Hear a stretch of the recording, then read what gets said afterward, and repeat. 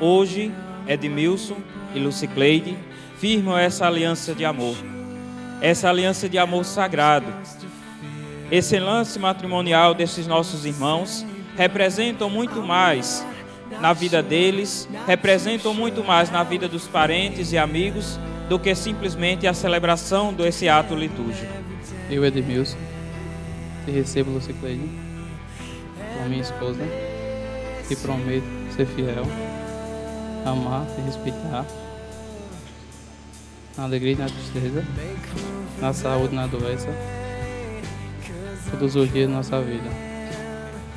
Eu, Lucicleide, te recebo Edmilson como meu esposo e te prometo ser fiel, amar-te e te respeitar-te, na alegria e na tristeza, na saúde e na doença, todos os dias de nossa vida.